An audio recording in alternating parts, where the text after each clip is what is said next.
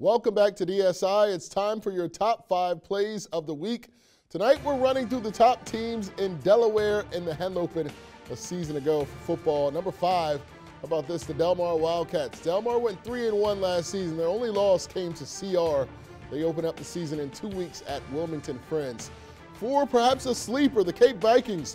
One of their best seasons in over five years. Three and one down the stretch after beginning 0 and 2. Number three are heavy hitters. The Woodbridge Blue Raiders were stacked last year, should be stacked again. Coach Marvin Dooley inherits a roster who could compete for a state championship. Coming in at number two is the Smyrna Eagles. Smyrna ran the table last year before falling in the playoffs at home to the eventual state champion. Mike Judy squad should be pretty good again. And speaking of state champions, from four seed to forever. Sussex Central takes out the top two seeds, Smyrna and Middletown, en route to their second state championship in the past three years. But look out because the Knights should be very good this coming season as well.